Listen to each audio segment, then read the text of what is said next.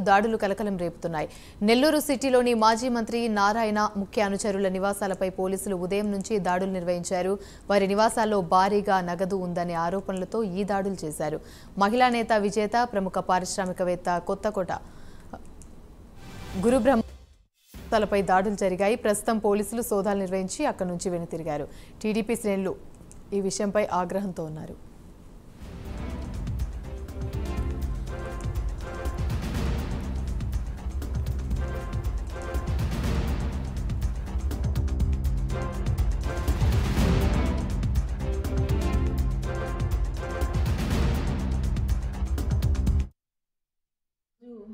ఉదయాన్నే మేము నిద్ర కూడా లేకముందే మా ఇంటి డోరు మోవడం జరిగింది. వెళ్ళి డోర్ తీస్తే మొత్తం కారిడాలంతా అంతా పోలీసులు మీ ఇంట్లో మా కంప్లైంట్ వచ్చింది. బాలాజీ నగర్ పోలీస్ స్టేషన్లో కంప్లైంట్ వచ్చింది. మేము చెక్ చేయాలి అని అనేసి నోటీస్ ఇచ్చి ఇంట్లో మొత్తం చెక్ చేయడానికి వచ్చారండి. అసలు నిద్ర లేసి నిద్ర బ్రష్ కూడా చేసుకో మేము నిద్రే లేయలేదు. నిద్ర లేక ముందే వచ్చి డోర్ కొట్టడము ఇలా ఒక మహిళగా ఇంట్లో ఒక ఒక లేడీ కానిస్టేబుల్ని తీసుకొని వచ్చారు. మిగతా అంతా జెంట్స్ వచ్చారు. ఒకటికి మూడు సార్లు పదే పదే పదే పదే ఇల్లు మొత్తం బెడ్లు కాడి నుంచి బయట కాడి లోపల కానీ మొత్తం ఇంట్లో ఒకటికి మూడు సార్లు చెక్ చేశారండి.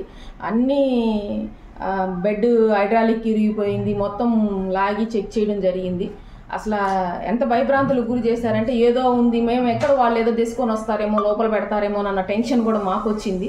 సో మొత్తం ఓవరాల్గా అంతా చెక్ చేసుకొని వాళ్ళు వెళ్ళేటప్పుడు నా దగ్గర ఇరవై వేలు రూపాయలు ఉన్నది. అవి కూడా అక్కడక్కడక్కడ పెట్టుకున్నవి అన్నీ తీసుకొని వచ్చి లెక్క పెట్టి ఇరవై వేల రూపాయలు ఉన్నాయని చెప్పి చెక్ చేసుకొని పోవడం జరిగింది. ఇది చాలా అన్యాయం అండి.